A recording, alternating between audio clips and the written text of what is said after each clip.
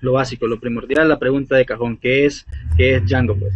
Y en resumidas cuentas y sencillamente, Django es un framework para desarrollo web. Django cumple con todas las características que tiene que tener un framework y entre las cuales se resume pues a facilitarle la vida al, programador, facilitarle la vida al desarrollador para hacer una aplicación web. Segundo, eh, Django está escrito en Python. Ya conocemos pues Python es un lenguaje interpretado, multiplataforma, orientado a objetos, tiene tipado dinámico, fuertemente tipado. O sea que todas estas características que, hacen de, Python un lenguaje poderoso, al Django estar hecho en Python, pues se traducen a, Django. Entonces, cuando nosotros hacemos una aplicación, desarrollamos un proyecto en Django, entonces ya contamos con todas estas herramientas, con todo este, este poder de, Python. Otro aspecto importante de, Django es el, paradigma de, programación. Pues se dice que es MVC, Ah, por ahí dicen que MTV. La verdad es que eh, cuando Django se, se, empezó pues a, el desarrollo de Django, los desarrolladores no pensaron específicamente en un paradigma en sí, sino que ellos hicieron pues lo que, ellos creían que era lo, mejor para, para el framework. Entonces por eso es que se traduce más o menos como a un MTV, eh, en lugar de un MVC, de un modelo vista controlador a un modelo eh, template vista. Y pues viendo un poquito nada más en esto, solo manera de teoría, podemos decir que en, el modelo es donde nosotros manejamos o va a manejar los datos que va a manejar nuestro sitio web.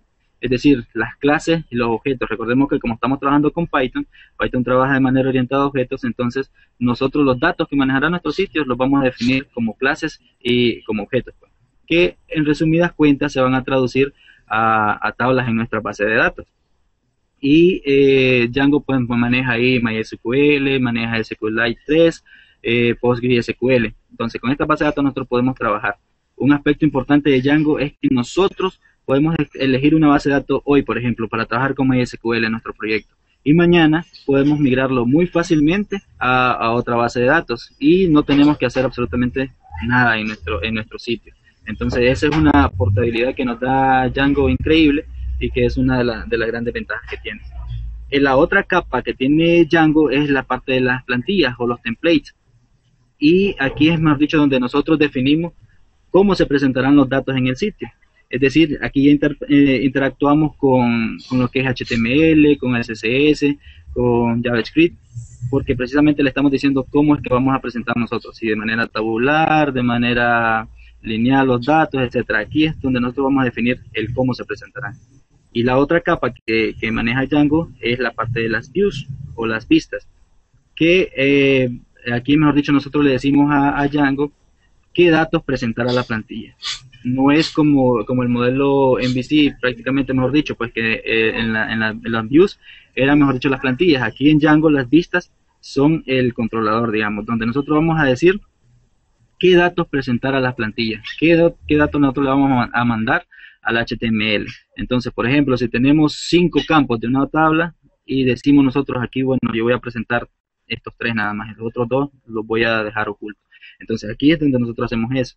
Y hay un componente importante de Django que es el ORM, el Object Relational Mapping, que nos permite comunicarnos con la base de datos, con cualquiera de las bases de datos que hayamos escogido, y nos permite hacer sentencias eh, sobre esa base de datos, hacer filtros, obtener datos de la base de datos y de esa manera nosotros podemos luego pasarle los datos a, las plantillas. Pues. Eh, otro aspecto pues que quería comentarles con ustedes rápidamente es la parte de la estructura. La estructura de Django es relativamente sencilla, muy muy muy fácil. Cuando nosotros creamos un proyecto de Django, primeramente nos crea una raíz, una carpeta raíz, que esa carpeta raíz, mejor dicho, sería como nuestro proyecto y dentro de este proyecto eh, nosotros podemos tener X cantidad de carpetas, que en este caso se, se traducen a aplicaciones. Entonces, ¿qué significa? Que nosotros tenemos X cantidad de aplicaciones para un proyecto. Sencillamente es, esa es la estructura básica de, de, de, Django. Claro, hay otros archivos aquí que luego ya eh, Carlos Rocha pues nos va a explicar más a detalle cuando vayamos viendo la parte práctica, eh, como el init.py, el manage.py, settings.py, todas esas cosas que, se manejan ahí, pero este Carlos las va a explicar ya más a fondo. Un aspecto que quería resaltar también en, Django es la reusabilidad. porque nosotros podemos crear perfectamente una aplicación para un proyecto específico, pero luego nosotros esa aplicación que creamos la podemos portar de una manera muy fácil a otro proyecto que hayamos creado. Entonces nosotros estamos ahí ahorrándonos horas, tiempos de, código que ya, ya hayamos hecho anteriormente y de manera muy fácil la podemos, eh, la podemos eh, eh, ¿cómo se llama? Portar pues a, otra, a otro proyecto. De igual manera nosotros podemos usar módulos de terceros, otras personas. Django tiene una, una cantidad de personas increíble en, lo que es la comunidad de, Django. Pues. Todas están eh, creando aplicaciones, creando proyectos, creando módulos que en definitiva nosotros podemos utilizarlos porque Django pues es, un, de código abierto. Entonces podemos utilizar todas esas aplicaciones y de manera muy fácil podemos implementarlas en nuestros proyectos. Entonces, básicamente se traduce a usar lo que ya está hecho, pues no como es la filosofía de, de, Django, pues don't repeat yourself, o sea, no te repitas, no hagas lo mismo que ya está hecho. Entonces, utilizamos lo que ya, ya la comunidad, que es muy grande, ha hecho y nosotros pues podemos enfocarnos en la parte eh, modular de nuestro proyecto, lo que lo hace, digamos, diferente de los demás. Y básicamente yo quería nada más hablar de eso, solo explicarles lo básico, lo fundamental para entrar en contexto a lo que es, eh, a lo que es Django. Eh, yo quiero presentarles a, a, Carlos, a Carlos Rocha. Él es eh, experto en Python, ya lo había mencionado, él tiene muchos, muchos años de trabajar en Django y Python, y pues él nos va a dar un ejemplo práctico el día de hoy para, para que entendamos un poquito mejor lo que, lo que hemos estado, lo que, lo que vimos ahorita, pues nada más. Entonces, Carlos, te cedo la palabra. Ok, este, muchas gracias Lenin, eh, gracias por la introducción, muy buena la introducción, todo lo que mencionó Lenin es eh, bien cierto, en Django tenemos este, la parte de las aplicaciones plugables que podemos utilizar en uno y otro proyecto y existen una amplia, amplia cantidad de, apps, de aplicaciones que podemos utilizar en nuestro, en nuestro proyecto. Ahora vamos con la parte eh, en la parte de la práctica. Entonces, como ya mencionó Lenin, ya sabemos lo que es Django, porque Django utiliza el MTV en vez del MVC, pero en realidad es lo mismo. Ya sabemos que la vista, eh, la vista modelo vista y controlador es lo mismo que el modelo template view. Eh, entonces pasemos ahora a los componentes. Los componentes que tiene Django. Realmente Django tiene un ORM, que ya lo mencionó Lenin, Sabemos que el, el objeto que relaciona, que mapea los datos o las relaciones de la tabla de la base de datos. Tenemos un admin automático, es decir, cuando nosotros hacemos nuestra aplicación, codificamos nuestros, nuestras tablas, eh, luego automáticamente podemos eh, configurar el admin que trae Django y con él este, tenemos un CRUD un CRUD completamente funcional que es create, read, update, delete. Ya sabemos que es crear, leer o mirar, eh, actualizar y eliminar. Ese es el CRUD que automáticamente el framework de Django nos lo proporciona sin codificar absolutamente nada. Eh, la URL tiene un sistema de URL bien elegante, es decir, que nosotros podemos escribir nuestra URL como nosotros querramos para más que todo para eh, que nuestra aplicación sea elegante y también que sea un poquito más amigable con el SEO. Eh, tiene un sistema de plantillas bien poderoso. En él tiene la herencia, que lo vamos a ver hoy. Y también tiene el I18N, que es la internacionalización, donde nosotros podemos tener una aplicación y tenerla en varios idiomas. Tenerla en cuatro o cinco idiomas, eso dependiendo de lo que nosotros querramos. Y bueno, vamos a empezar con el ejemplo. Para el ejemplo de hoy, voy a utilizar un pequeño programita de un todo list para que nosotros nos familiaricemos con Django. Eh, realmente es bien fácil, solo vamos a ver la estructura que estuvimos hablando del MTV, cómo es que eh, se puede utilizar, cómo es que se hace en Django el, el separar en tres capas nuestra aplicación, más que todo para el mantenimiento y el desarrollo ágil, por eso es ese paradigma de programación. Y empecemos entonces con el ejemplo. Como les decía, vamos a crear una aplicación de todo que nos lleve una lista de los proyectos y sus tareas. Para ello, lo primero que hay que hacer es instalar Django. Eh, la parte de la instalación la vamos a obviar un poco. Yo estoy utilizando un Virtual M.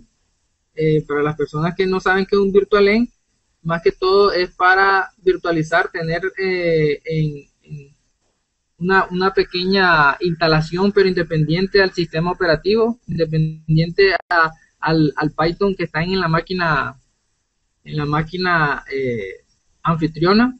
Entonces es una carpeta realmente que está virtualizado el Python y todo lo que vayamos a instalar será solo en esa carpeta. Entonces en este caso ustedes ven acá yo tengo algo que dice virtualenv y para instalar Django solo le ponemos pip install eh, Django. Y él automáticamente no lo instala. Eh, si le doy Python, él ve que me instala la versión 273 de Python. Eh, y para ver qué versión de Django tengo instalado, simplemente coloco Django.versión y él me dice que tengo la versión estable que es la 2, la 142 final. Eh, actualmente, a finales de este año, del próximo mes, van a lanzar la versión 1.5 de Django que ya es compatible con Python 3 o están trabajando para que sea compatible y se supone que va a ser compatible con la versión 2 Python 3.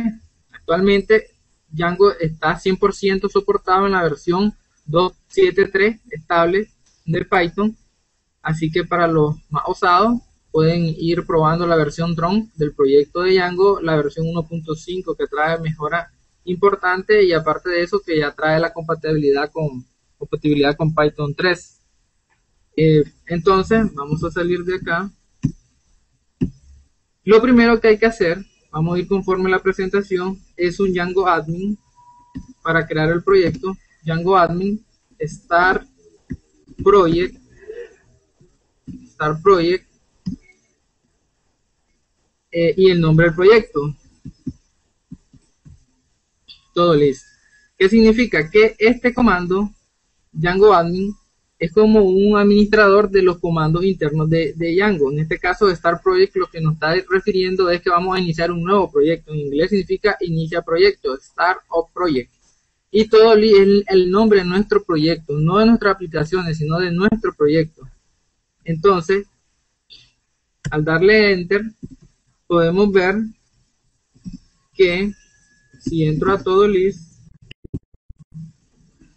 él nos ha creado una estructura de una, un directorio que contiene todas nuestros, nuestras configuraciones como el setting.py, el URL y el WSI, que más que todo es cuando hagamos un deployment de nuestra aplicación.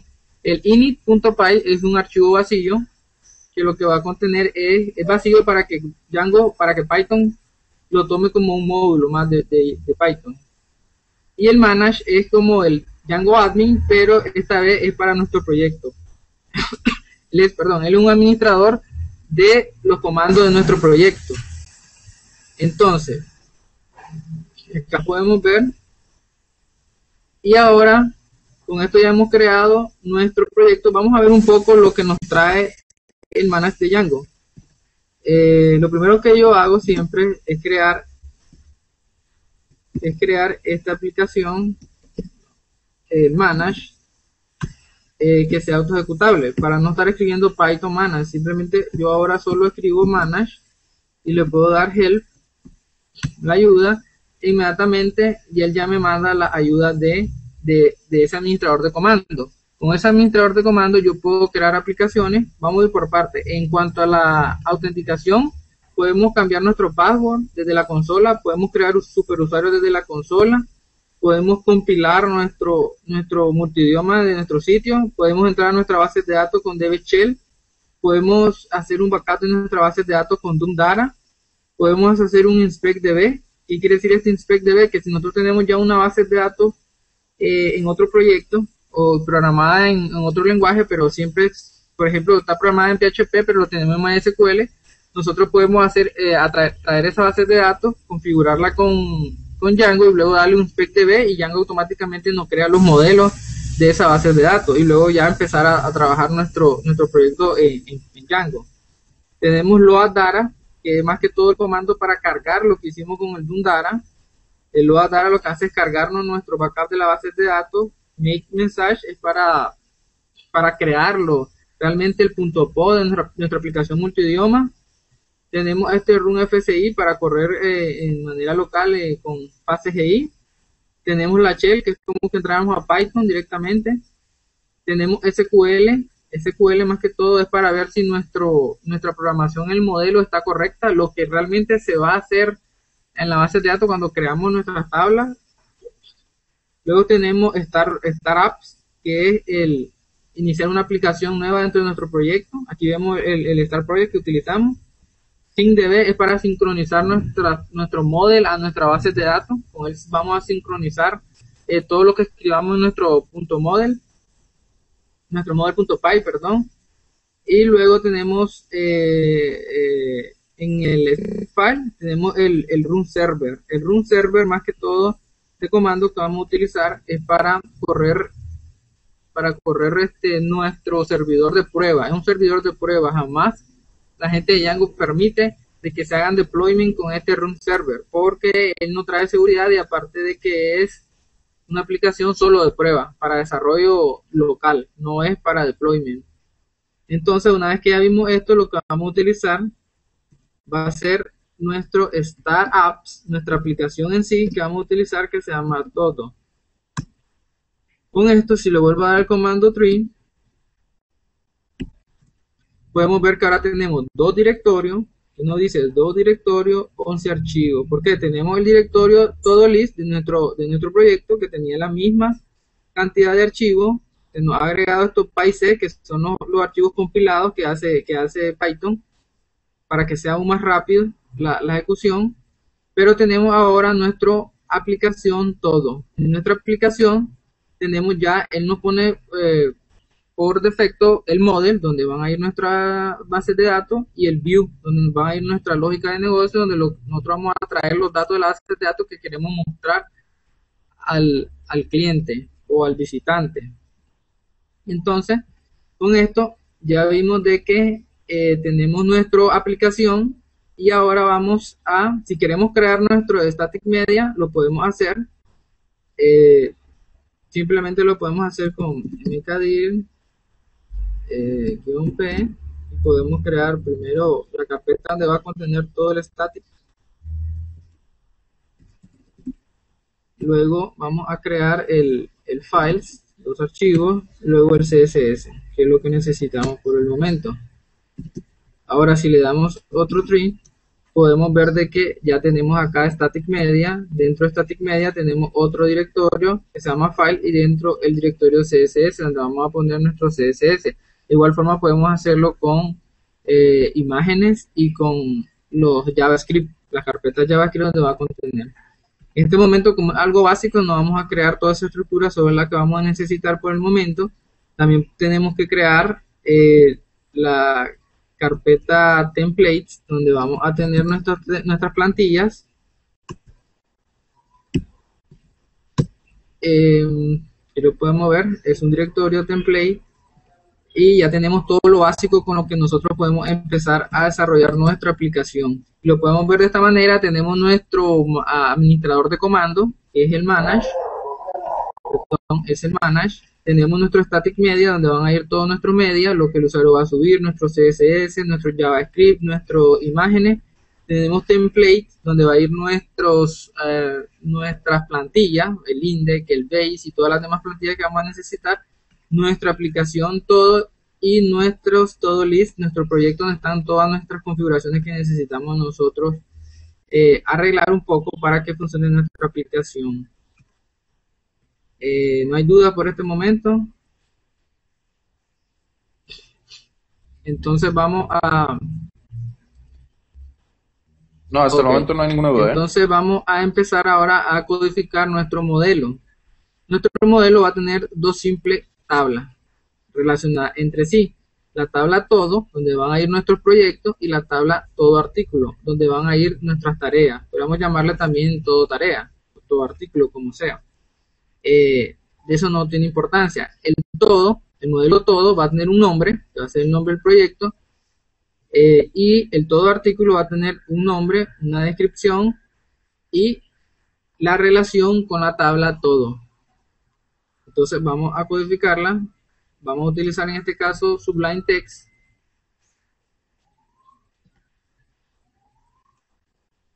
Utilizar Sublime Text. Voy a abrir por acá el folder donde tengo el proyecto. Todo listo. Vamos a cerrar este que es otro proyecto. Y vamos a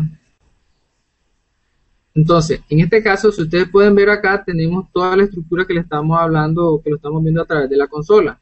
En este caso, cabe mencionar que estoy trabajando bajo Linux, eh, estoy trabajando sobre Fedora 16, todavía no me he utilizado la 17, eh, y tengo eh, y tengo Python por defecto, no hay nada que instalar cuando utilizamos Linux, tengo Python por defecto y tengo algunos plugins para programar con Django. Entonces nos vamos a nuestra aplicación todo y vemos que tenemos uno que se llama model.py. Model.py. Entramos a él y lo primero que vamos a hacer es crear nuestra tabla. Cada tabla tiene que ser representada como una clase en Django. Entonces, todas las clases, por convención PET 8 que se le llama en Django, empiezan con una letra en mayúscula. Una letra en mayúscula, esto se le llama camel case. Quiere decir que si yo tengo, por ejemplo, todo tiene que empezar con la T mayúscula. Luego vamos a utilizar lo que es el model punto model y luego normal vamos a colocar el nombre de nuestro proyecto vamos a utilizar eh, rápidamente el plugin que tengo le vamos a poner nombre y luego dígame eh, perdón que te interrumpa ¿puedes hacer tantito más grande la letra porfa? Claro Ahí como lo mira. Ahí está perfecto. Ok. Entonces, entonces, correcto. Entonces, nuestro primer campo de nuestra tabla todo se va a llamar nombre. Este tiene que ser, eh, recuerden que el model.model es, eh, la, es una clase y estamos heredando de la clase model. Por lo cual tenemos que llamarlo al campo charfield. Este campo charfield le podemos mandar varios parámetros, entre ellos como eh, el nombre real. Si aquí nosotros tenemos, por ejemplo, nombre 1, aquí yo le puedo mandar a que él me pinte en Django nombre, simplemente, ¿verdad? Lo vamos a solo como nombre. El max length es el tamaño máximo que va a contener ese nombre, le vamos a poner unos 200 caracteres. Eh, podemos utilizar, vamos a ir separando esto para que se nos haga más ordenado podemos utilizar también eh, un, un, help text como una ayuda para que el usuario eh, para que el usuario sea un poquito más amigable, un poquito más usable, el usuario sepa qué es lo que va a ingresar ahí. Entonces ingrese el nombre del proyecto. Del proyecto. Cerramos. Y ahora hay que crear una función, una función para que, como Sabemos que en Python todo es un objeto, las clases son un objeto, el nombre es un objeto, entonces tenemos que poder mostrarlo en forma humana para que los usuarios puedan leer realmente el, el nombre, el, el, título en sí. Entonces para ello hay una función que se llama Unicode, Unicode, y a ello le mandamos la clase en sí, y luego vamos a retornar self punto cualquier variable o cualquier eh, campo que tengamos en la base de datos. En este caso solo tenemos uno que se llama nombre. Vamos a regresar ese nombre. Y con eso ya tenemos prácticamente nuestra tabla eh, en la base de datos llamada todo. Ahora vamos a crear otro, otro, ¿cómo le puedo llamar? Como otro atributo que, tienen los modelos. En este caso eh, son las clases meta esto lo podemos utilizar clase meta y lo que vamos a hacer es el ordering. Ordering es más que todo para que me lo ordene alfabéticamente los, los campos. En este caso vamos a utilizar el campo nombre, que es lo único que tenemos. Recuerden que al ser una tupla, esto, las tuplas empiezan siempre con paréntesis. Las listas empiezan siempre con corchete y los diccionarios empiezan siempre con bracket, eh, ¿cómo se llama? Llaves. Entonces, este es una tupla, por lo tal, al tener solamente un objeto, tenemos que terminar con un coma, si no nos va a lanzar error. Eh, separemos un poco esto y aquí tenemos el clase meta. Más que todo, esto es para que lo ordenemos directamente desde nuestra base de datos en orden alfabético. Ahora ya tenemos nuestra primera tabla. Vamos a crear nuestra segunda tabla que se va a llamar todo artículo. Pero podemos poner tareas también. Si ustedes ven, aquí ya estoy aplicando también el camel case. Toda palabra que continúe a otra empieza con mayúscula. Todo artículo con mayúscula. Esas son las convenciones que nos da, que nos da eh, Python. Que Y ahora vamos a crear nuestra tabla relacionada a la tabla todo. Para ello, primero vamos a empezar con un foreign key a nuestro modelo todo. Yo le pongo siempre fk eh, todo, que es el foreign key, y ahora aquí en foreign key nuestro atributo va a ser el nombre de la tabla todo. Si ustedes ven, está en mayúscula, que no se confunda, porque así se llama nuestro, nuestra tabla. Con esto ya tenemos la relación hecha, la tabla todo, y ahora vamos a ponerle tarea. En tarea vamos a utilizar un text field, para este caso vamos a utilizar un text, text field, y vamos a poner tarea. Y acá podemos utilizar, como siempre, una pequeña ayuda, tareas, coma, un help text y descripción de la tarea. Descripción de la tarea. De la tarea. Ahora, un error común es que utilizamos acá acentos. En este caso tengo mi, idioma en inglés. Voy a ponerlo en español para poner el acento. Ahora voy a poner otra vez en inglés. Es que este acento inmediatamente nos va a lanzar un error un error en Python porque él desconoce el UTF-8. Entonces, para evitarnos ese error, a la cabecera de nuestro, de nuestro archivo model tenemos que colocarle una pequeña sentencia que es más que todo para, para que Python no, no, no, reconozca el, la codificación, el, el coding, el, el encoding de, del UTF-8 y no nos lance el error de, de los acentos. Para eso tenemos que escribir entonces eh, el, la almohadilla, guion, asterisco, guion, el coding, dos puntos, UTF-8, UTF-8, y luego pues eh, lo cerramos normal como lo abrimos, y con eso nos evitamos que este acento que está acá, que acabo de colocarlo, nos lanza un error a la hora que nosotros querramos este, sincronizar la base de datos. Em, ¿Qué más? Bueno, tenemos tarea. Ahora vamos a crear este, la fecha. mdate, eh, fecha, la fecha de esa tarea. Eh, igual podemos ponerle aquí fecha si queremos. automáticamente nos va a poner fecha normal así con la F mayúscula es necesario, pero igual lo podemos utilizar, lojar para que vean que no es necesario. Luego vamos a crear otra vez el def eh, Unicode.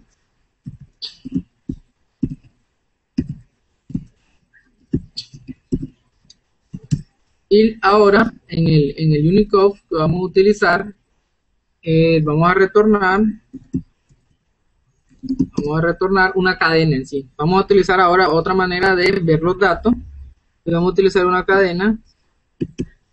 Eh, esta cadena va a contener un, un string, por lo cual empezamos siempre con el eh, porcentaje S, que es un string lo que vamos a pintar ahí.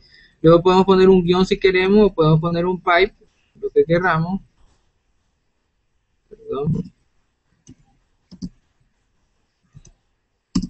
Eh, luego otro por ciento S. Y luego vamos a colocar lo que vamos a pintar. En este caso voy a utilizar el self.fk todo coma y el self self punto tarea ahora, ¿qué más podemos ocupar? El, podemos utilizar la clase meta.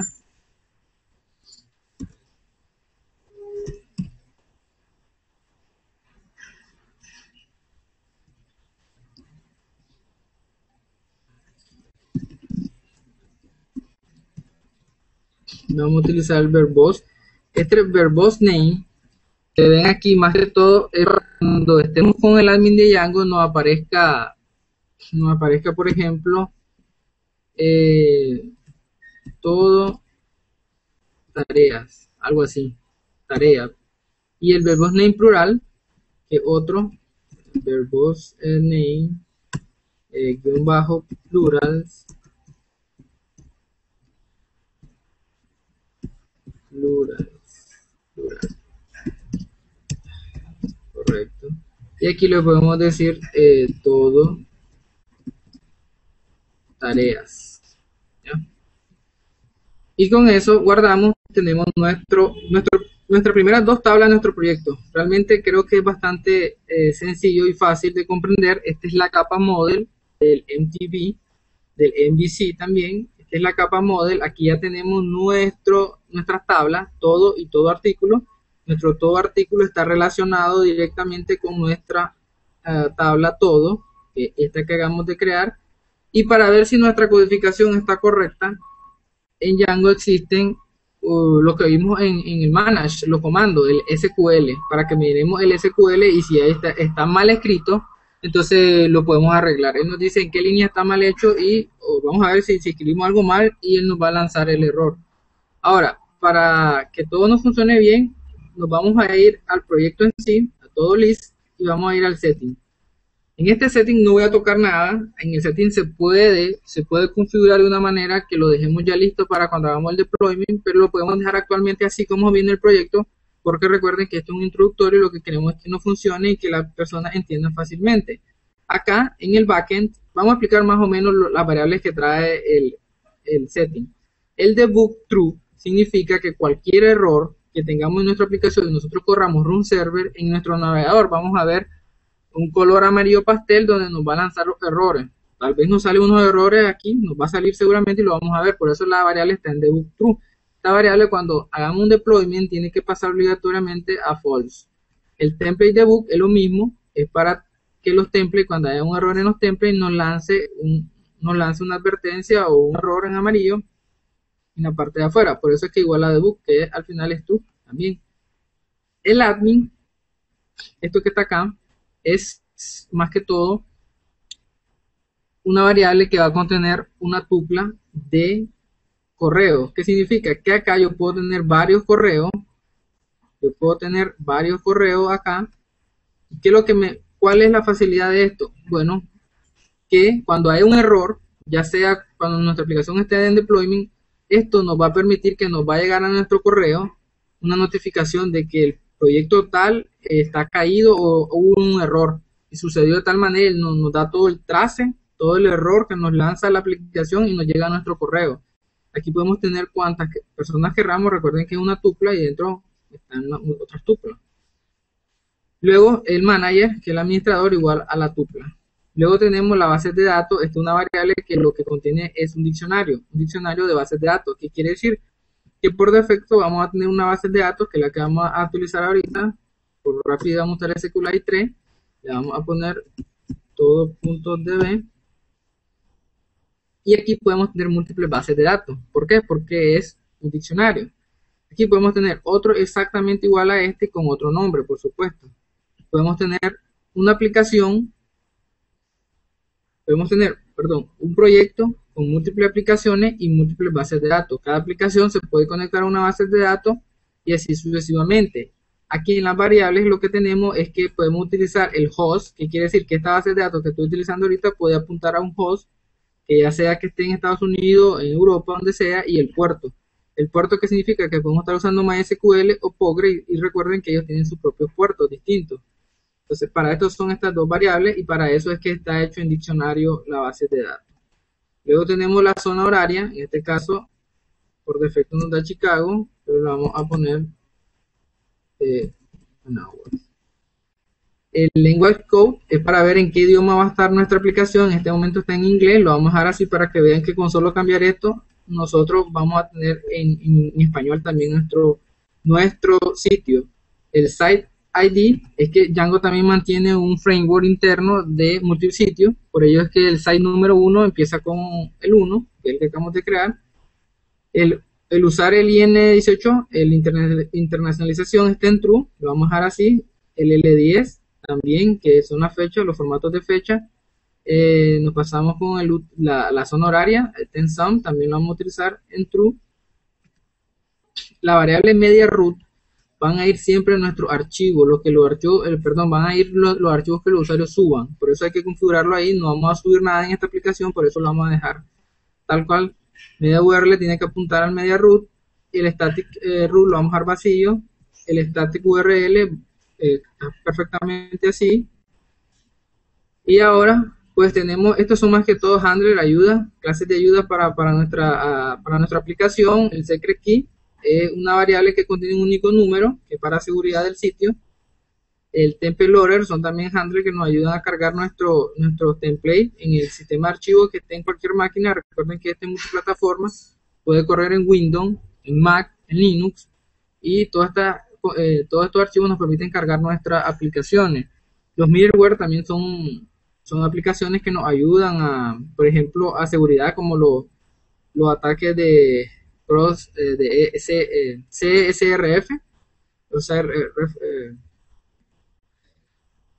la autenticación, tenemos los mensajes también, tenemos la variable root urlconf, que es donde van a ir todas nuestras variables que nosotros vamos a configurar, el WSI, que es para el deployment, y el template dir, que aquí lo que vamos a poner más que todo en nuestro, nuestra carpeta templates.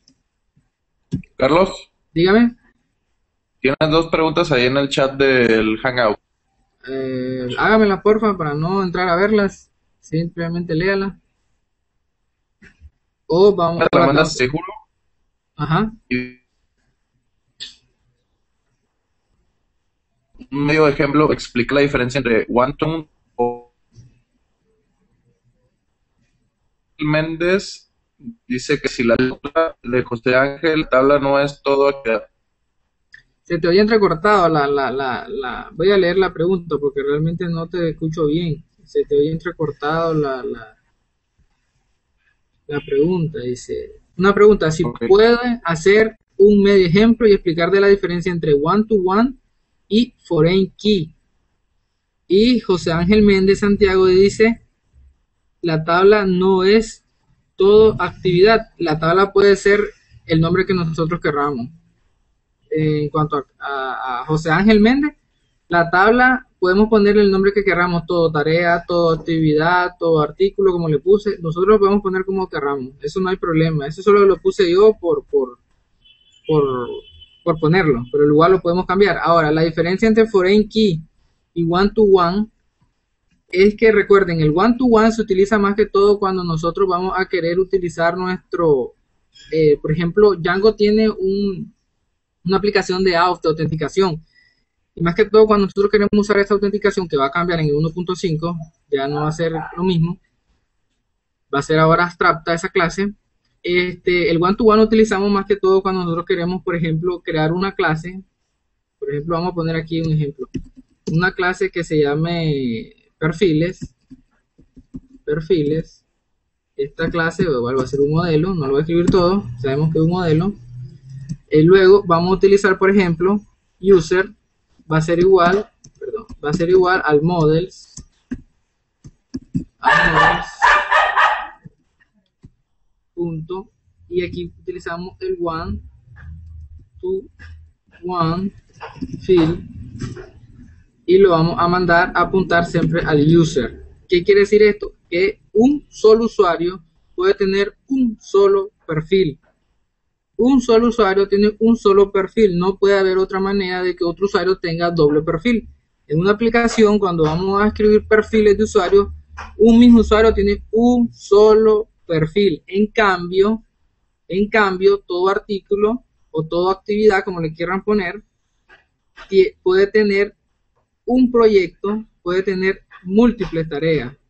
¿Ya? Quiere decir de que todos artículos son multitarea, pero pertenecen a un solo todo. No sé si me explico. Es de uno. Un proyecto tiene múltiples artículos. Y aquí, one to one, es que un usuario puede tener un solo perfil. No hay otra manera. no, la, la base de datos no vas a poder ponerle un usuario múltiples perfiles, porque está haciendo la relación de uno a uno. Como le digo, esto se usaba más que todo para los perfiles en Django, el one-to-one field. Igual el many-to-many. ¿Qué quiere decir el many-to-many? Eh, el many-to-many quiere decir de que nosotros podemos tener, si nosotros en vez de hacer la relación aquí, foreign key a many-to-many, por ejemplo, M2M, enter, todo. Lo que estamos diciendo aquí es que puede haber múltiples proyectos, múltiples proyectos con múltiples tareas, ¿ya?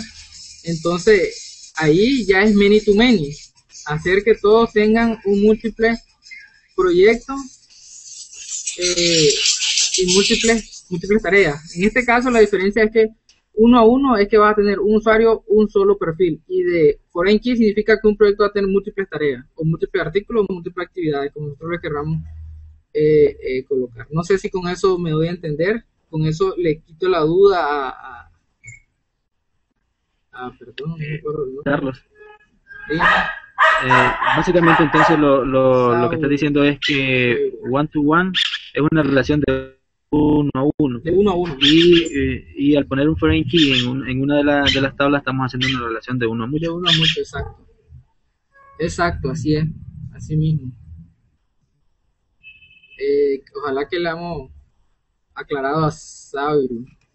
Bueno, entonces en todo caso sigamos con el setting. En el setting ahora lo que vamos a colocar, es- vamos a comentar el admin de Django. Aquí dice descomentar la próxima línea para activar el admin. Y luego tenemos que agregar nuestra aplicación. Estas aplicaciones, ustedes ven, son como plugables. Podemos comentarla, descomentarla y agregar todo lo que nosotros necesitemos. Si vemos, solo coloco el nombre de nuestra apps. Nuestra app se llama Todo y nuestra aplicación, se llama Todo y nuestro proyecto se llama Todo Listo. En este caso vamos a poner el nombre de nuestra aplicación Todo. Y con eso tenemos configurado bien sencilla el setting para que trabajar localmente, para que conozcamos un poco lo que es Django. Y ahora nos vamos a ir a la consola. La consola vamos a utilizar el, nuestro manage de comando y vamos a decirle que nos muestre el SQL que se acaba de formar de nuestro model. Pero para ello vamos a digitar en nuestro manage, luego SQL, la sentencia SQL, y luego vamos a, a decirle a qué aplicación, en este caso todo. Le damos enter y ahí está. ¿Qué significa? Que como este, estoy utilizando SQLite 3, la sentencia en SQLite 3 empiezan con begin. Entonces, esta es una variable que es de SQLite 3 y nos dice begin. Inicia, crear tabla, todo, todo. ¿Qué significa todo, todo? Este es un prefijo. Django por defecto nos pone un prefijo a nuestra tabla de cómo se llama nuestra aplicación. Si nuestra aplicación se llamara Carlos, él va a decir Carlos guion todo pero nuestra aplicación se llama todo, entonces todo guion eh, todo, que es nuestra tabla.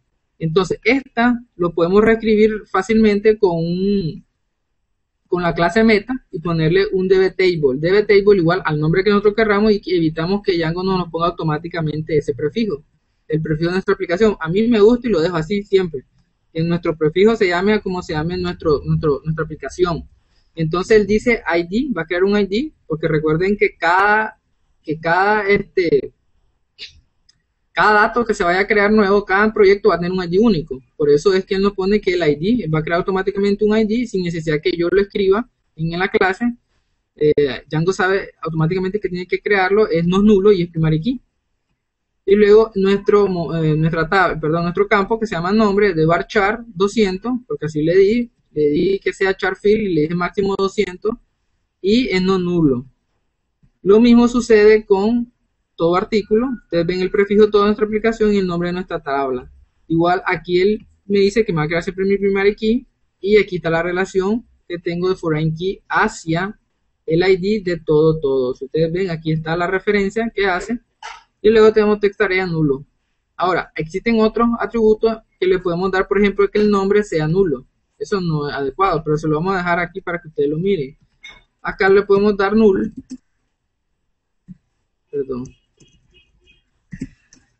null, coma y blank. La diferencia entre null y blank es que null hace que en la base de datos nuestra aplicación sea nula, es decir, que permita vacío, y aquí es una Y el blank es como una validación en Django, en sí, en el admin, de que nos permita que dejemos ese campo vacío. Entonces, ahora, si guardo, perdón, eh, si guardo y corro de nuevo, aquí vemos varchar nombre, tiene no nulo, es decir, no está permitido que se guarde nulo. Si ahora yo corro otra vez el SQL, voy a limpiar pantalla, vemos de que inmediatamente él me quitó la parte que decía not null, ahora es nulo, ahora es permitido el nulo, podemos verlo aquí arribita, el anterior que decía not null. Con eso nosotros podemos ya decir que nuestro campo sea nulo, pero no lo vamos a dar así porque no es correcto. Las tareas tienen que tener un proyecto asignado. Entonces, este, lo vamos a dejar así. Ahora, ¿qué vamos a hacer para que nuestra, nuestra tabla se creen dentro de nuestra base de datos? Vamos simplemente a utilizar ahora el comando SYNCDB. ¿Qué significa SYNCDB? Sincronizarme a la base de datos. Sin poner nada más que SYNCDB, le damos Enter y él inmediatamente me dice que me está creando las tablas estas tablas que ustedes ven acá de auth permission, de autenticación, son creadas automáticamente por Django. Es las que Django necesita para autenticar los usuarios, los grupos, los permisos de usuario, los permisos de grupo. Como son many to many, él crea siempre tablas intermedias que son estas que vemos acá. También Django tiene un framework de content type, que es esto que vemos acá, y tiene uno de sesiones. Los de sitio que hablamos, de multisitio, y aquí están los logs de Django. Estos logs lo que almacenan es cuando nosotros creamos un archivo, borramos un archivo y ahora él me crea mis tablas de mi proyecto, todo, todo y todo artículo. Ahora la pregunta que me hace es que si quiero crear un superusuario. Le digo que sí y es, me pide un nombre, en este caso de Rocha. aquí por defecto va a salir el nombre del, del, del usuario que tenga en su, en su, en su, en su sistema operativo. En este caso de Rocha, lo vamos a dejar así. Me pide un correo, le vamos a poner cualquiera, me pide un pago igual, un pago cualquiera, y ahorita él ya me ha creado lo que es mi tabla. Ahora sí yo ya tengo creado mi, mi base de datos con mi tabla, con todas las tablas que él ha creado. Entonces, lo segundo es correr nuestro servidor de prueba para ver cómo, cómo nos está cómo nos está corriendo la aplicación. Entonces es run server. Recuerden que con run server eh, corremos nuestro nuestro servidor de prueba. Aquí inmediatamente validando el modelos, los modelos dice cero errores encontrados. La versión que estoy corriendo actualmente de la 1.4.2 y él está usando el setting de todo list, que es nuestra, nuestro proyecto. Y ahora él dice visita, visita el, el URL 127.001.800, que es localhost de, nuestro, uh, de nuestra máquina. Entonces me voy a ir al navegador y voy a colocar acá 127.800 y él dice is worked. Vamos a hacerlo un poquito más grande, la letra. Is worked. Están viendo, esta es la página de inicio de que Django está instalado correctamente y que está instalado también correctamente en nuestro proyecto. Ahora, si yo coloco clic admin para entrar al admin de Django, él siempre me va a lanzar de que no existe nada más. ¿Por qué? Dígame. Carlos. Dígame. ¿Sí? Okay, Te dejo otra pregunta en el chat. Este, Dice Daniel Cardona si Django en Sublime Text tiene para programar en modo Code. Django Sublime Text tiene para... Sí, claro que sí. Sí, sí, sí, sí, sí, ¿Sí escuché bien, perfectamente bien. Este, sí tiene, sí tiene. Este se llama el Zencoding, eh, pero creo que el Zencoding cambió. Ahora es eh, Emet, Emet, creo que se llama. Eh, hay que instalarlo, ese, ese, ese plugin existe, tienen que buscarlo, no me acuerdo ahorita si es Emmet o Emmet. No sé si es cómo se escribe la cosa. Emmet. Eh, no sé si hay alguien que lo tenga por ahí. Por ahí nos dice, creo que solo con una M y con una sola T. Emmet, creo que estoy siendo perdido. Pero sí, existe, existe ese, ese plugin para, para poder utilizarlo de Zencoding eh, para que automáticamente él no, nos escriba nos escriba automáticamente eh, nuestro, nuestro CSS o nuestro HTML. En este caso, ahorita estoy con el modelo. Esto es puro Python, no, no hay un encoding. Lo que sí hay para Python es algo que se llama eh, de Janeiro. Déjenme buscarlo aquí.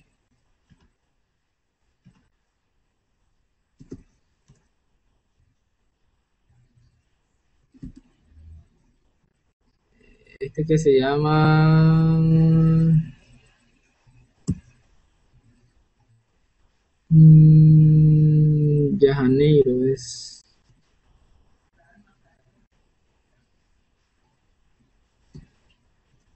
Bueno, ahí de todos modos se lo paso dentro de un momentito. es que el, eh, como lo hice, lo hicieron unos muchachos de, de Brasil, entonces el nombre es todo brasileiro. no, no lo recuerdo muy bien, pero yo lo tengo instalado y por eso es que cuando yo escribo escribo algo así como M2M y le doy tap, él inmediatamente me escribe, me autocompleta todo lo, que yo necesito. Si yo escribo en este caso, si yo escribo acá abajo model y le doy enter, él me escribe completamente el modelo. Lo estaba haciendo yo manualmente para que miremos cómo es que se, se hace, ¿ya? Pero inmediatamente él me crea esto, no sé si a él se refiere esto del autocompletado y de crear el, el tipo encoding. Este, ese se llama Janeiro, pero no me acuerdo cómo se escribe realmente, solo el nombre y como está en brasileño, pero ahí lo vamos a colocar al final del, del, proyecto, a ver si Lenin nos lo coloca ahí, porque ya lo di, ese, en ese momento ya lo di, esos plugins eh, en otra charla y realmente sí existe para muchacho que preguntó, ¿cómo que se llama el nombre? Para Daniel eh, Cardona, sí existe, para Sublime Tech también existe el Emmet Code, que es para parecido al Zencoding, que, que también este funciona perfectamente en Sublime Text 2. Entonces, ¿en qué parte íbamos?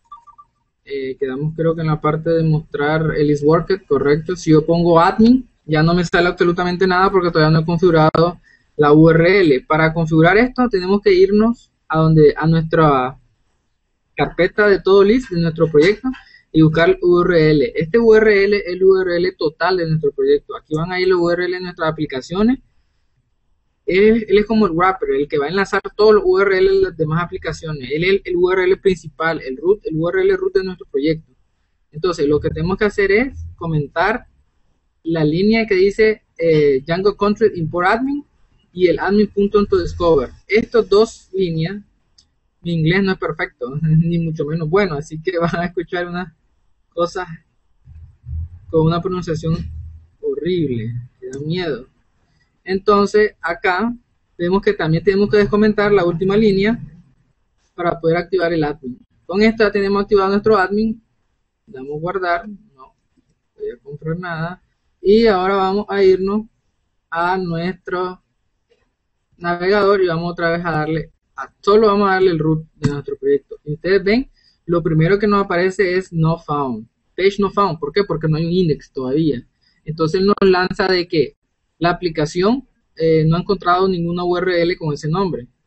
Pero sí nos manda acá abajo algo que dice admin. Que la única que tenemos activa es admin. ¿Y por qué vemos este error? Porque tenemos el debug en true. Entonces vamos a darle pleca admin. Y ahora vemos acá que nos sale automáticamente la caja de ingreso de Django. Entonces acá creamos el usuario y el password sencillo. Con esto, ustedes podemos ver, entramos al administrador automático que trae de Django. ¿Qué es la única aplicaciones que nos aparecen? Las aplicaciones por defecto, que son la autenticación. Aquí podemos crear múltiples usuarios. Si vemos aquí, add. Ahora, una cosa que le voy a... Ustedes ven que aquí dice Django Administration, Welcome, Cerrocha, Change Password, Logout, Recent Action, mm, My Action, eh, Change, Add, Group User. Eso va a ser siempre igual. Pero entonces, para traducir esto al español, nos vamos a ir a Sublime Text, nos vamos otra vez al setting ¿Se acuerdan que les hablé de la variable eh, language code? Acá solo hay que cambiarle por es y el idioma en que estemos, que es por ejemplo SD, Nicaragua. Lo guardamos. Eh, creo que sí, acá en este, bueno, aquí ya lo automáticamente cada vez que guardamos cosas importantes como son como son los modelos, las vistas, eh, Django automáticamente, o el setting, el URL, Django automáticamente, él hace un restart de el servidor de prueba que trae eh, Django. Si en este caso no ha refrescado nuestra aplicación con control C nuestro, de nuestro teclado, lo podemos parar y volver a, a, iniciar. En este caso él no hizo ya este el restart y solo le vamos a refrescar la página y vemos que ya me lo tradujo al español. Ahora es administración de Django, bienvenido Cerrocha, cambiar contraseña, terminar sesión, acciones recientes, mis acciones, ninguna está disponible, ahora añadir, modificar, tenemos acá las dos eh, aplicaciones que trae por defecto eh, de Django. Entonces, ahora necesitamos colocar aquí en nuestro administrador el CRUD de nuestra aplicación. Es decir, necesitamos tener nuestro, nuestro, nuestro todo, todo list aquí.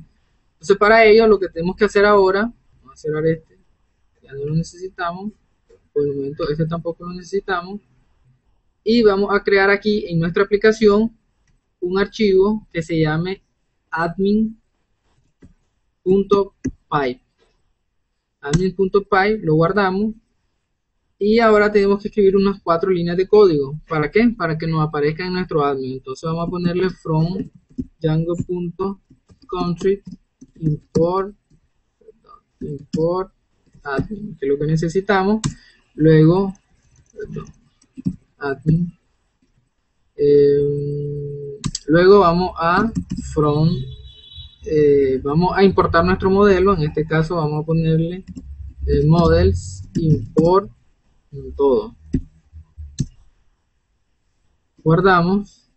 Eh, si ustedes ven esto rojo es porque tengo también otro, otro, otro plugin para que me identifique que hay cositas que están mal escritas. En este caso, si yo pongo todo, todo punto models, perdón, punto models, import y le coloco su nombre, por ejemplo, todo, coma, todo artículo y le doy guardar, entonces él debería de, perdón, vamos a ver si cierro esto, eh, todo modelo import todo y todo artículo, vamos a ver si así se llama, todo artículo correcto. Y ahora vamos a darle admin.site.register eh, todo, todo, vamos a copiar esto, y aquí es todo.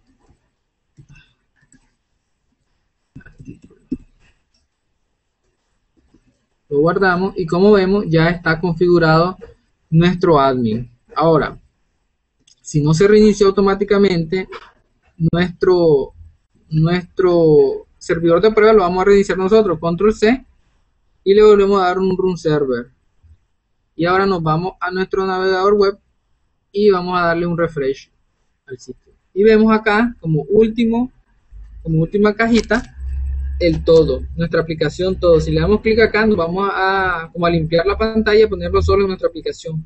Entonces, en nuestra aplicación ya tenemos lo que es todo, eh, los proyectos. Si le damos añadir, aquí vemos el CRUD que le dije. Aquí ya podemos añadir y modificar el, el proyecto y aquí todo tareas que son las actividades que vamos a ir eh, añadiendo. Si le doy aquí Enter, vemos que tengo por defecto que solamente me permite el nombre, el nombre de la aplicación. Y si me voy a la parte de todo tarea, tenemos, perdón, aquí añadir, tenemos un foreign key a todo y tenemos acá la tarea en sí, la que vamos a nosotros a digitar y tenemos la fecha a la cual le hemos puesto en nuestro, en nuestro modelo. Entonces, ¿qué vamos a hacer ahora? Lo que vamos a hacer es algo de que cuando ingresemos a todo, cuando añadimos un todo, él se nos añada también acá como inline nuestro, nuestra actividad. No vamos a estar haciendo primero un, proyecto y luego irnos al otro y desde ahí vamos a, hacer la, relación y vamos a... Eso es muy tedioso, lo que vamos a hacerlo, eso lo podemos hacer en el admin. Nos vamos al admin, eh, en el admin lo, que vamos a hacer es lo siguiente. Primero vamos a crear una clase que se llame todo artículo admin este tiene que heredar de la clase admin.inline y luego vamos a mandar a qué modelo es el que va a ser el, eh, perdón, va a ser el, que el, inline, en este caso pues todo, artículo. Y luego acá le vamos a poner el extra, este extra, este extra más que todo es para decirle que cuando iniciemos uno nuevo, cuando vamos a añadir uno nuevo, él no lo ponga automáticamente uno. O aquí dejamos cero, vamos a hacer la diferencia para que miren y entiendan cuál es el extra. Luego vamos a crear ya nuestro todo admin. Va a heredar del admin o del admin.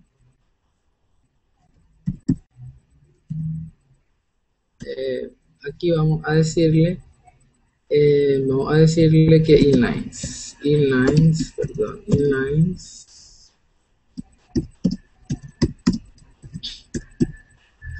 esta es una lista por ello vamos a ponerle eh, la lista no este inline no contiene esto lo que vamos a colocar para no escribirlo mal pero lo voy a copiar vamos a colocar el nombre del inline acá lo copio y lo pego y si vemos acá ya tengo el inline. Ahora lo único que tengo que hacer es decirle de que lo reescriba por este todo admin.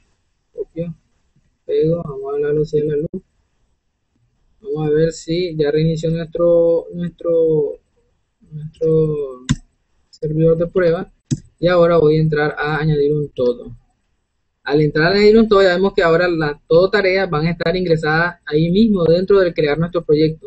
Quiere decir que no tengo que estar yéndome al otro al otro apps, a la otra tabla para añadir las tareas. Entonces aquí mismo creo el admin, perdón, creo el proyecto y después creo su tarea aquí mismo. Ahora, eh, si ustedes ven acá no me aparece nada porque está el extra en cero. La diferencia entre el extra en 1, en 2, en 3, en cualquier otro número es que nosotros podemos colocar aquí en 1, eh, guardamos, vuelvo a darle añadir y si ustedes ven ya me añadió en la tarea y la fecha 1. Yo puedo decirle que automáticamente él me abra ya con 3 abierto con 0 o con 1, con nosotros querramos. Ahora vamos a guardar para ver si es cierto. Por ejemplo, eh, añadir el proyecto, vamos a hacer un code job, eh, tarea, eh, enseñar, vamos a dejarlo ahí sin la ñ, tengo mi teclado en inglés, enseñar Django, Django a los jóvenes. La fecha hoy. Y vamos a darle aquí puedo añadir otra tarea también. Explicar ir añadiendo los pasos para crear, una aplicación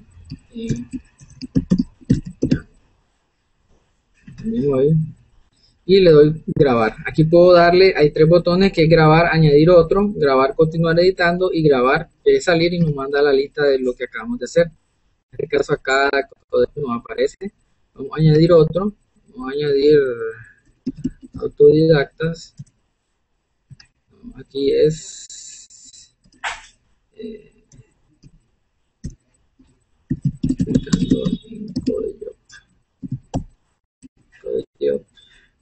hoy y vamos a grabar voy a otro sacar uno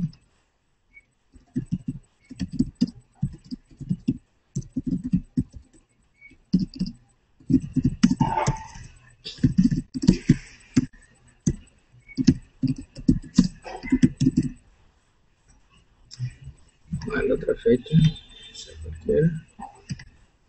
aquí podemos ver, aquí tenemos ya una lista de tres proyectos, cada uno ya asignada con una tarea. Si nos vamos a nuestro todo tarea y entramos, vemos que aquí ya está. Este, esto que ustedes ven aquí es el Unicode que, que, que, que, configuramos. Eh, teníamos el proyecto, le, dimos pipe y después le dimos el nombre de, la tarea. Entonces ustedes ven acá, vemos que ya tenemos también acá en todo list automáticamente eh, las tareas asignadas. Si entramos a cada una de ellas podemos ver la relación, relación ponen aquí eh, lo que escribimos allá y la fecha. Igual aquí tenemos el CRUD, podemos eliminar este y se elimina automáticamente desde allá también, no hay problema. No lo vamos a eliminar porque queremos que mantengan esos datos. Entonces, ¿a qué vamos ahora? Ahora, vamos a enseñar una de esas partes que hablamos de, lo, de, la, eh, de las aplicaciones plugables. En este caso vamos a hablar de la aplicación, vamos a mejorar el, el aspecto del admin. ayer, hace dos días salió una app para, para utilizar el bootstrap dentro del admin de Django y modificarlo totalmente. Entonces, para ello vamos a irnos a la consola, vamos a detener nuestra consola. Recuerden que esto, dígame. Eh, Carlos. Eh, bueno, no sé, pero creo que antes de que continúes con, esa otra parte, a lo mejor responder una pregunta que aquí para, que, por favor. para que no se enoje. Bueno, eh, dice, ¿cómo llevo mi aplicación de un servidor de desarrollo a uno de distribución? Esa es una de las preguntas. correcto. Y la otra dice, ¿qué plugin usas en Sublime para el Lintern? Dice aquí, de Python. ¿Para él? Lintern, dice. Lintern. Bueno, vamos a ver. Ok, esto que estoy escribiendo actualmente es la aplicación que vamos a usar, que vamos a reemplazar por el admin de, Django. Más que todo usando la, usando la aplicación del Bootstrap.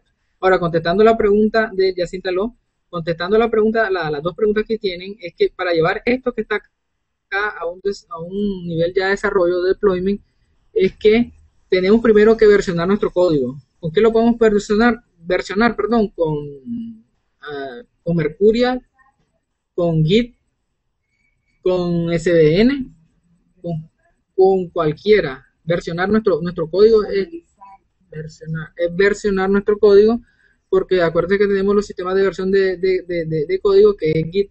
En este caso, ustedes tienen que crearse una cuenta en GitHub o en Bitbucket y utilizar cualquiera de esos sistemas de sistema versionado de, código. Eh, una vez que lo tengan así versionado su código, pueden ir a comprarse cualquier VPN, VPS, perdón, cualquier eh, cuenta share y luego ustedes tienen que clonarlo y hacer las configuraciones. En cuanto a configuraciones de deployment, tenemos ya uno en la, en comunidad autodidacta, deployment en un servidor share, de caso en Bluehost, y lo que necesita más que todo es también en el setting configurar un poquito los patches los paths son las rutas donde van a estar nuestros medios, que es donde más, un poquito más tedioso es un poquito más problemas le da a los usuarios cuando inician, es que tienen que ser un poquito dinámico el, los paths de nuestras nuestro template y el path de nuestros CSS admin y perdón CSS imágenes y J, JS JavaScript. Y en cuanto a la otra pregunta lo vamos a leer porque no entendí. Eh, dice Miguel Ángel mm, Camacho. Eh, ¿Qué plugin usas en Sublime Text para el linter de Python? He probado varios y no me va ninguno. Eh, fíjate que ahorita, ahorita no lo recuerdo porque ya lo tengo instalado desde hace meses. Este, pero déjame te lo busco después de terminar esto y se lo mando a Codejob, a Carlos y también desde, desde, desde Lenin, desde Autodidacta, vamos a ir publicando todos los plugins que usamos en Sublime Text, Sublime Text para, para esto de los Inter, el autocomplete, el, todos los plugins que estamos utilizando para, para Python. Ya, porque ahorita no se me viene a la mente realmente, ya los tengo hace rato instalados y no, no lo, no, lo manejo así tan, tan, tan al hilo. Pues miren que ahorita todavía ni me acuerdo cómo se llama el Emmet me acuerdo que se llama Emmet, pero el encoding todavía no.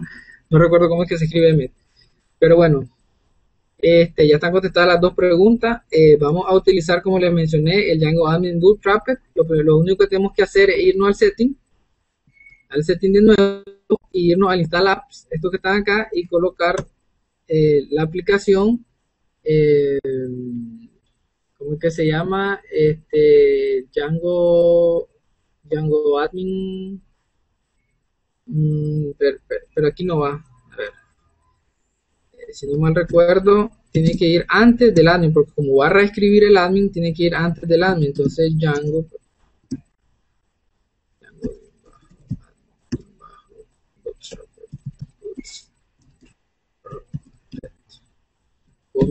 una tupla. Y ahora eh, vamos a correr nuestro servidor y nos vamos a nuestra aplicación. Si ustedes ven, está en azul y todo, ahora vamos a darle refrescar y mira, automáticamente cambió el aspecto de nuestro admin. Si nos vamos a inicio, Vemos que ahora vamos a hacer un poquito pequeña la pantalla para que podamos ver bien la, aplicación. Ahora podemos ver de que ya no salen los grupos, los usuarios, pero en tabs, los sitios, en tabs nuestra, nuestra, eh, nuestro admin. Ahora es en tabs y cuando yo le doy, por ejemplo, añadir una tarea, añadir una tarea, automáticamente él ya me lo pone al estilo Bootstrap, sus botones, todas las cositas que necesitábamos. Acá miren, pueden ver que ya cambió, cambió un poco el aspecto. Ya tenemos como más Bootstrap nuestra, nuestra aplicación con Bootstrap. Es decir, ya hemos ya modificado un poco el admin con solamente tres pasos. Instalamos la aplicación, luego nos vamos al admin, digo al setting, y la colocamos. En este caso el requisito es colocarla antes del, del country admin, antes de que cargue el admin de, de defecto de Django. Entonces tenemos un aspecto más simpático, por decirlo así, más bonito de nuestra aplicación, el estilo eh, Bootstraps. Y esto es plugable. Como ustedes lo ven, es como un plugin en WordPress un módulo en Drupal. Solo lo instalamos y ya está funcionando. Eh, ahora pasemos a lo siguiente.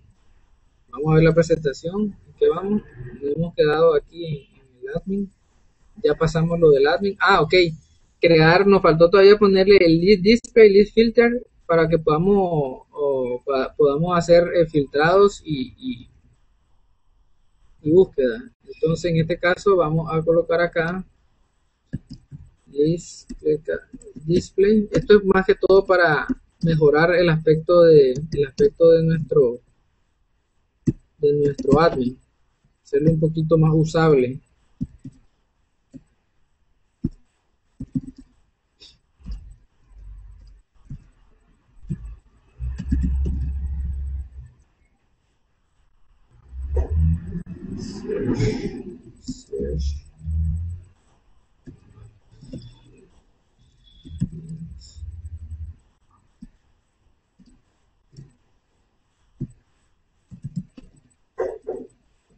Entonces nos venimos acá al administrador y vamos a darle a todo dice list filter estos son los errores que hablamos. Lo bueno es que nos aparecen. Estos errores son comúnmente los errores que nosotros vamos a tener cuando escribimos mal algo o cuando algo está mal configurado. En este caso dice que está mal configurado que una lista de una tupla. Entonces eso en el admin.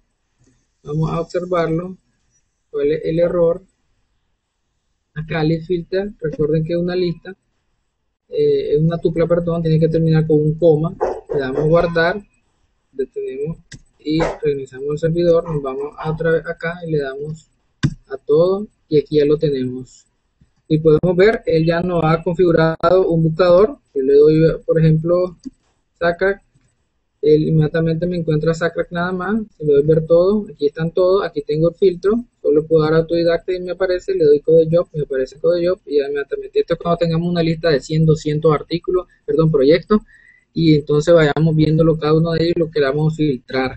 Acá igual podemos eliminar cualquier cosa, y esto es más que todo, este, un poquito de mejorar el aspecto del admin para que sea más usable para el administrador del sitio o, del, o de la aplicación.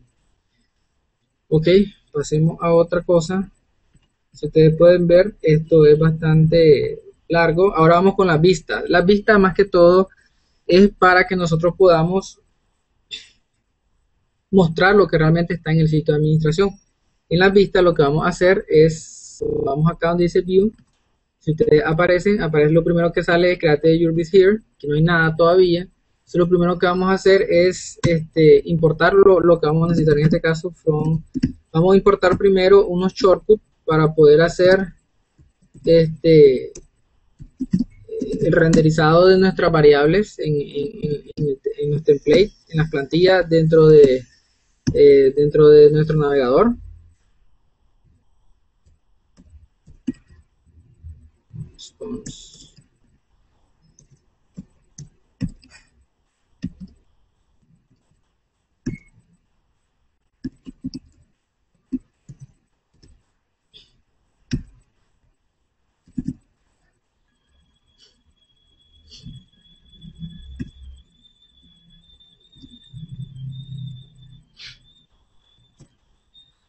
Que algo está malo porque debería de ponerse en azul object, correcto. Em,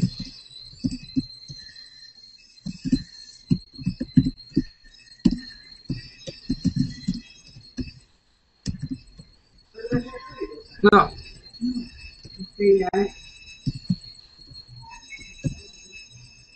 Eh, perdón, aquí es request content que estoy.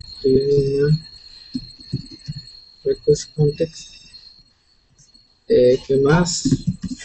Todo nuestro modelo. Todo punto model. Si ustedes ven, estoy trayendo todo lo que necesito para trabajar.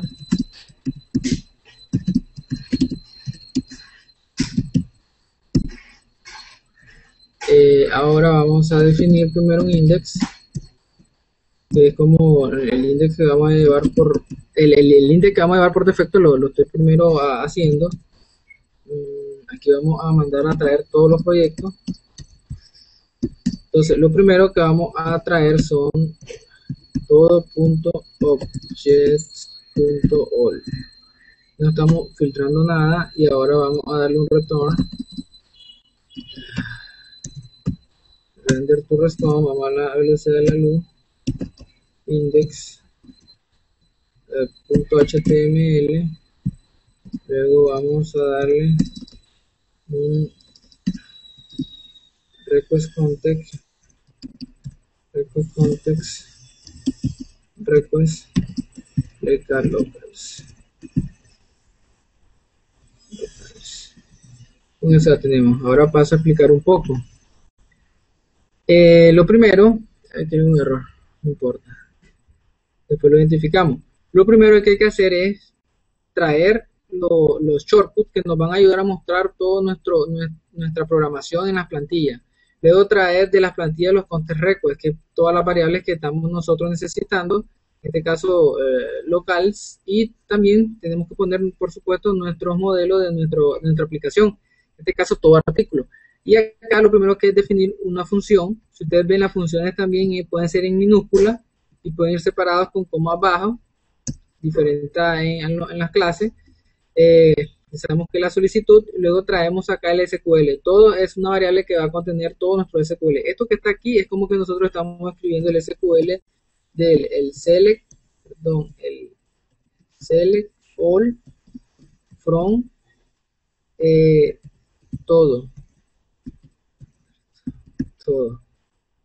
En realidad, este es el SQL. Este es el SQL que estamos haciendo aquí, todo.object.role. ¿Qué le estamos diciendo? Tráeme todos los objetos que estén en la tabla todo. Ya es como un select. Aquí podemos hacer también un filter. Si queremos filtrar por algo, filter y aquí le ponemos nombre. Va a ser igual. Podemos ponerle que contenga guion guion y contain y contains contains y aquí le podemos poner una variable, por ejemplo, todo lo que contenga sacra y él solamente va a traer todos los objetos de la tabla todo de los proyectos que contengan el nombre Sacra. En este caso no lo voy a hacer, solo voy a, traerlos todos de un solo. Para más información pueden irse a la documentación de Django. En la documentación de Django aparecen todos los queries que podemos hacer, los, los queries de la base de datos. Aquí podemos hacer exclude, filter, order by, exclude.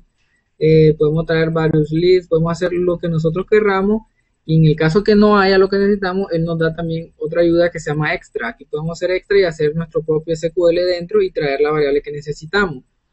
Eh, otra cosa que vamos a utilizar es una función para poder ver el proyecto y luego ver sus tareas. Entonces en este caso vamos a ver, ver eh, detalles. detalles. Siempre un request, pero esta vez vamos a mandar un ID, que es el ID de ese proyecto, para poder traer sus objetos ver y aquí vamos a utilizar lo que lo que eh, acabamos de importar que es el get object or 404 que es una manera abreviada de traer el objeto que necesitamos eh, toda su información y sus relaciones entonces en este caso todo allí va a ser igual a id ¿cómo podemos escribir esta variable? la podemos haber escrito de la siguiente manera todo todo punto object punto filter coma perdón, entre paréntesis, eh, filter ID igual ID. Quiere decir que el ID de nuestro, de nuestro, de nuestro, dentro de nuestro objeto sea igual al ID que le estamos mandando desde la variable, desde el navegador. Entonces, esta es otra manera de escribir lo que está actualmente en ver. Si ustedes lo ven, es lo mismo, pero este es como un handler que nos ayuda a hacer más rápido y más optimizado esta búsqueda. Ya, lo primero que tenemos que poner es get object or 404, el nombre de la tabla y lo que vamos a filtrar, que es lo que vamos a editar, el ID, va a ser igual al ID que le estamos mandando a través del navegador. Y borramos esta parte de acá. Vamos a darle un return, return, render to response, mm, vamos a mandar aquí eh, bueno, en el template nos faltó crear, cada aplicación tiene que tener su propio eh, template. Vamos a darle ver punto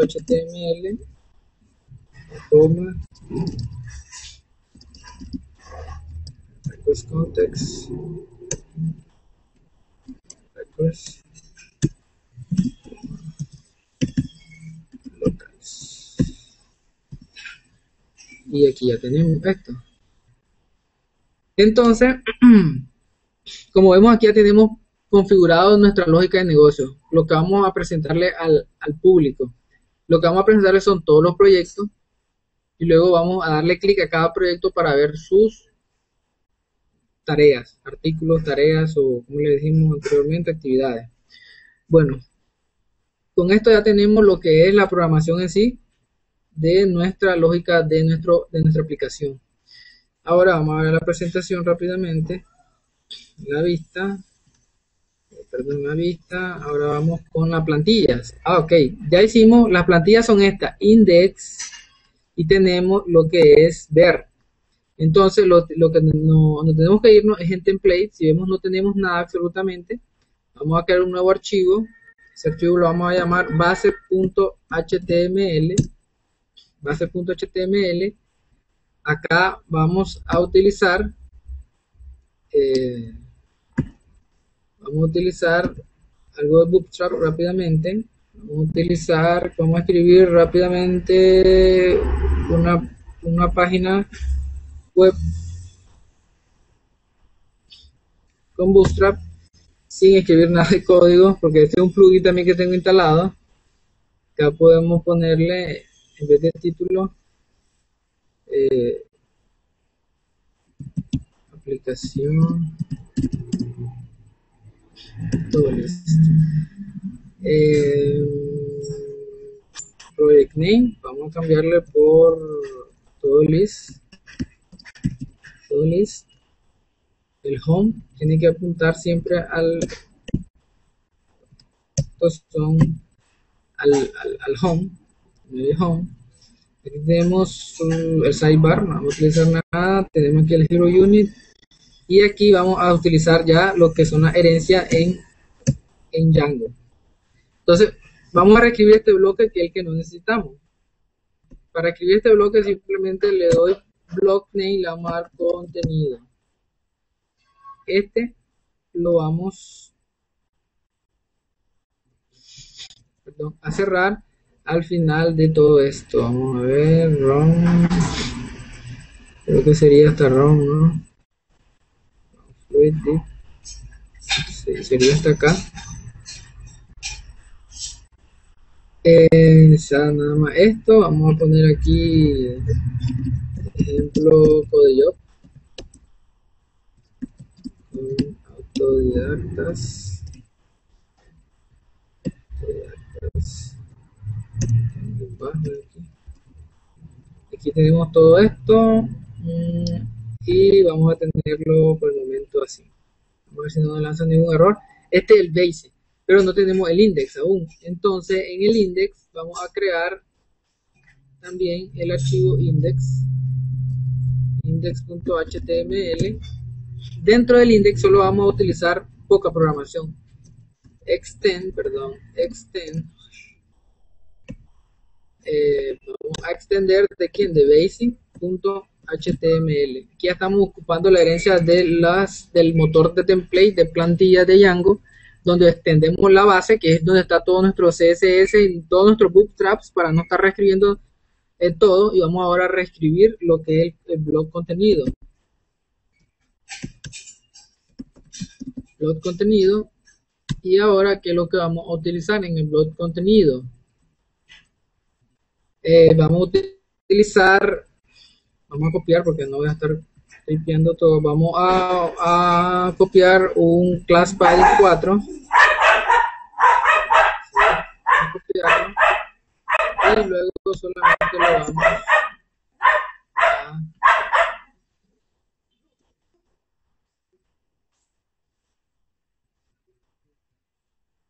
modificar, hacer el folding bien. Y aquí lo que vamos a hacer es un recorrido un for. ¿Cómo lo vamos a hacer el for? Bueno, vamos a hacer un for for in o podemos también hacer un for empty de otra manera de hacerlo for empty. Entonces en este for lo que vamos a meter es esta clase aquí dentro del for. Pero recuerden que lo que andamos buscando son todos los proyectos. Entonces metemos esto acá le vamos a dar eh, datos en todo, que es la variable que estamos mandando, que contiene todos los proyectos. Aquí en vez del header, vamos a utilizar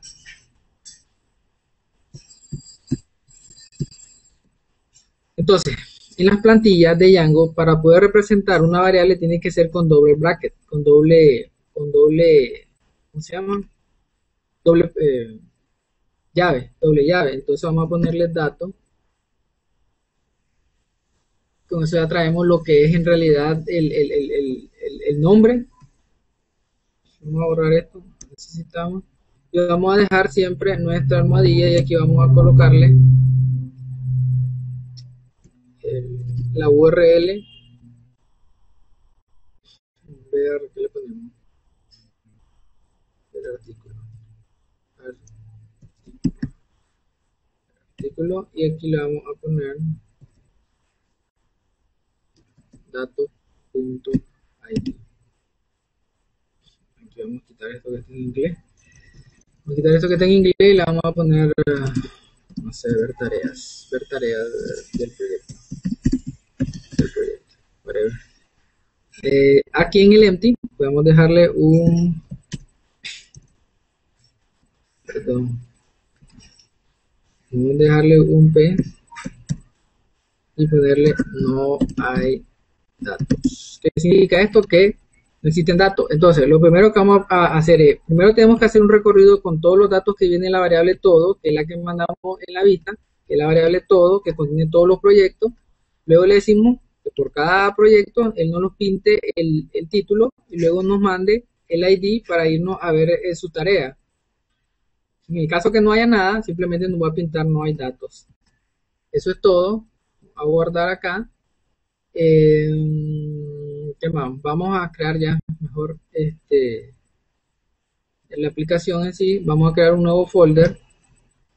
Este nuevo folder le vamos a poner todo como el nombre de, nuestro, de nuestra aplicación y dentro de todo vamos a crear eh, nuestro archivo que se llame eh, savever.html creo que así le puse si no lo modificamos ver.html correcto en ver.html lo que vamos nosotros a traer es este lo mismo, prácticamente lo mismo. Vamos a extender vamos a extender del base.html vamos a reescribir el bloque. Contenido. Dentro de ese bloque vamos a vamos a hacer? Un H2, un H2 pues para, para traer la variable. Si ustedes ven, la variable de, que me, trae en sí las tareas de ese proyecto se llama ver.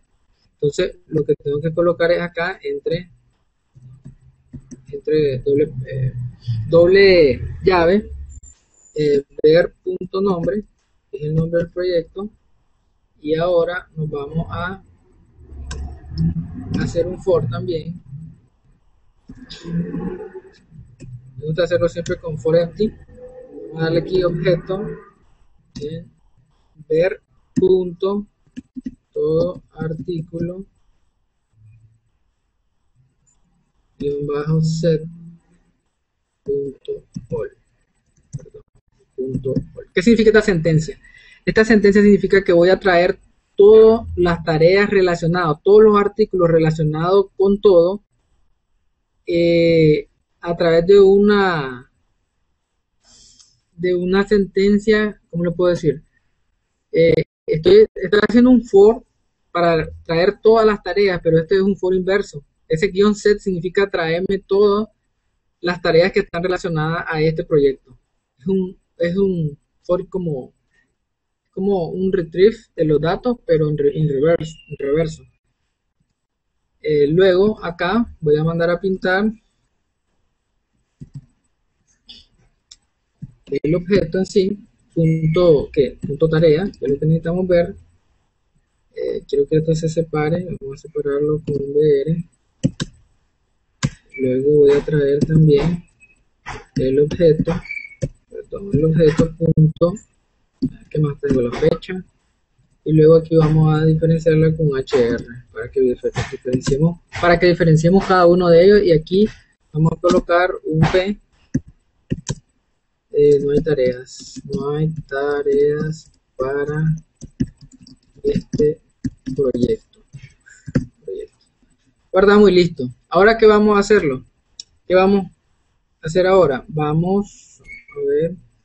Ya hicimos el index, ya traímos Bootstrap, ya usamos la herencia de plantilla y ahora vamos a la URL. Importante, la URL, si ahorita nos vamos a nuestro proyecto, a nuestro proyecto y nos vamos hacia la raíz, vemos que todavía solo sale admin, solo está admin aún. Entonces lo primero que tenemos que hacer es crear la URL de nuestro proyecto en sí. En este caso de todo. Ustedes ven no existe, entonces tengo que crear un nuevo archivo, lo vamos a guardar como urls.py. Dentro de ese url.py vamos a importar lo que pusimos aquí en nuestra aplicación Django conf URL. Django, eh, Django punto, URL es. Default default import a ver si así. Defaults con ese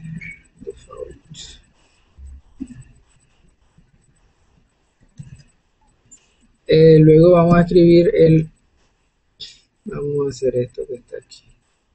Que vamos a estar escribiendo todo esto mejor lo copiamos. Y lo pegamos.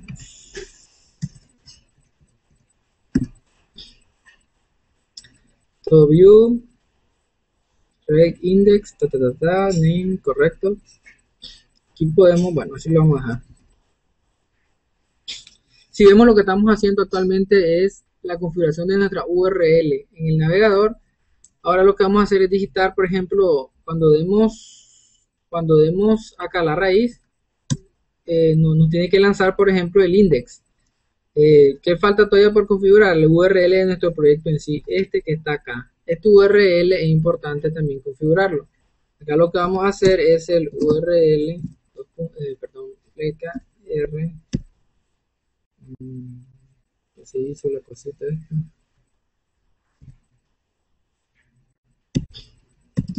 Prácticamente lo mismo el include que estamos diciendo aquí que incluya eh, nuestro nuestro todo.urls coma. Con eso le estamos diciendo de que en el URL padre en el mero root del URL mande a traer todas las URL de la aplicación todo. Eh, bueno con eso se supone que ya debería de estar funcionando acá. Si le doy enter, aquí está. Ustedes pueden ver, aquí tengo eh, la aplicación todo list, el home, los proyectos, Sacrac 1, autodidactas, Code Job. Y aquí tenemos ver las tareas de ese proyecto. Si ustedes ven, no sé si lo logran ver aquí cuando yo acerco el mouse, aquí me aparece abajo, ir a ver artículo número 3. Aquí es ir a ver artículo número 2 y aquí es ver ir artículo número 1. Podemos esto ordenarlo, ordenarlo por ID, que aparezca primero el ID. Entonces para eso nos vamos al view y aquí al final le ponemos punto order bajo by y le vamos a dar por el ID. ¿Qué sucede con eso? Vamos a ver qué sucede. Refrescamos acá. ¿Y qué pasa? Que CodeJob, como fue el primero que creamos, el primer ID, pasa a ser primero, autodidacta pasa a ser el segundo, y Sacra 1 pasa a ser el tercero. Porque lo acabamos de ordenar, es como que lo hubiéramos ordenado en SQL, aquí hubiéramos dado el, el, order by por ID. Eh, bueno, eh, ¿qué más falta? Que verifiquemos, verifiquemos también ah, que funcionen. Por ejemplo, miremos las tareas que tiene CodeJob, le damos clic aquí y pum, nos lanza un error. ¿Por qué nos lanza un error? Dice que el page no found. Artículo no encontrado. Ver artículo 1. Vamos a ver por qué es que nos lanza un error. Vamos al URL de todo y miremos aquí, artículo. Ah, está malo porque estamos, tenemos que mandarle un ID. Para ello tenemos que mandarle esta cosita que están acá, que esto es regex, con, con regex. Eh, P ID, que es lo que estamos mandando. Necesito la pleca inversa, correcto. Esto que está aquí le estamos mandando que es un ID que va a ser de dígito, va a ser un dígito. Y nada más que al final esto. Vamos a guardarlo. Venimos de nuevo acá y le damos enter. Después dice view doesn't exit, ver artículo, el módulo punto view módulo.view no existe, dice. Vamos a ver dónde está el error. Vamos a revisar. La, dice que no existe la vista ver artículo. Ver artículo es como lo copié. No sé si así le puse aquí en el vista.